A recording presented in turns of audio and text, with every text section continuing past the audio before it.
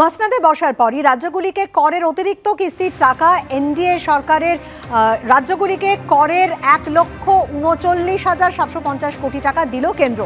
বাংলা পেল দশ হাজার পাঁচশো তেরো কোটি টাকা। সব থেকে বেশি পঁচিশ হাজার উনসত্তর কোটি টাকা পেয়েছে উত্তরপ্রদেশ। বিহার পেয়েছে চোদ্দ হাজার ছাপ্পান্ন কোটি টাকা। অন্যদিকে মধ্যপ্রদেশকে দশ হাজার নশো সত্তর কোটি টাকা দিয়েছে কেন্দ্র।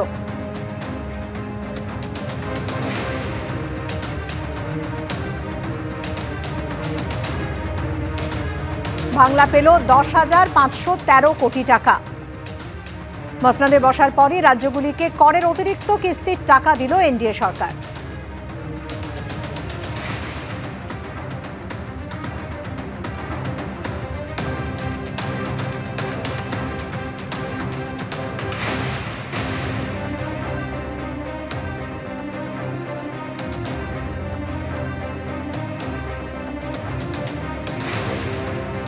প্রত্যক্ষ এবং পরোক্ষ কর বাবদ চার লক্ষ ষাট হাজার কোটি টাকা বাংলা থেকে তুলে নিয়ে গিয়ে রাজনৈতিক প্রতিহিংসা পরায়ণতার কারণে এক লক্ষ ষাট হাজার কোটি টাকা বছরের পর বছর আটকে রাখা, উনষাট লক্ষ মানুষের একশো দিনের টাকা আটকে রাখা, এগারো লক্ষ ছত্রিশ হাজার মানুষের বৈধ কাগজপত্র থাকা সত্ত্বেও আবাস যোজনার টাকা আটকে রাখা, এর যোগ্য জবাব বাংলা বিরোধীদের বাংলার মানুষ দিয়েছে।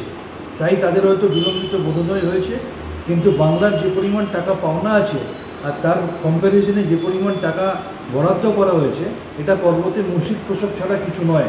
কোলাঘাটে মজুদ বেআইনি বাজিতে বিস্ফোরণ কাণ্ডে গ্রেপ্তার করা হলো বাড়ি মালিককে। পশ্চিম মেদিনীপুরের দাসপুর থেকে পাকড়াও আনন্দ মাইতি রবিবার রাতে কোলাঘাটের পয়াগ গ্রামে বিস্ফোরণ ঘটে আর সেই ঘটনায় বাড়ি মালিককে গ্রেপ্তার করা হলো। পশ্চিম মেদিনীপুরের দাসপুর থেকে আনন্দ মাইতি নামে এই বাড়ি মালিককে গ্রেপ্তার করেছে পুলিশ। কোলাঘাটে রবিবার রাতে যে ঘটনা ঘটে, বেআইনি বাজি মজুদ করা ছিল এবং সেখানে বিস্ফোরণের কাণ্ড ঘটে। সেই ঘটনায় বাড়ি মালিককে গ্রেপ্তার করা হয়েছে পশ্চিম মেদিনীপুরের দাসপুর থেকে বিটন চক্রবর্তী। আমাদের প্রতিনিধি রয়েছেন টেলিফোন লাইনে। বিটন, কি জানতে পারছ?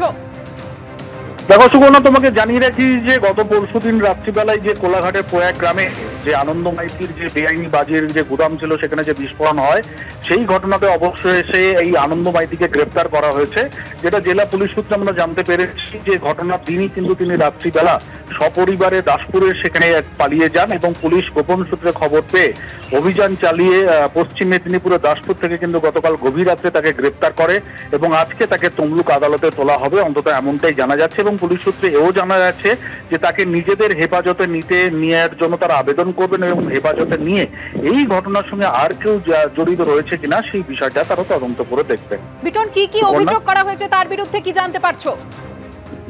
দেখো পুলিশ সূত্রে যেটা আমরা জানতে পেরেছি যে বেআইনি ভাবে বাজি মজুদ এবং বিস্ফোরক আইনে কিন্তু তার বিরুদ্ধে মামলা করা হয়েছে।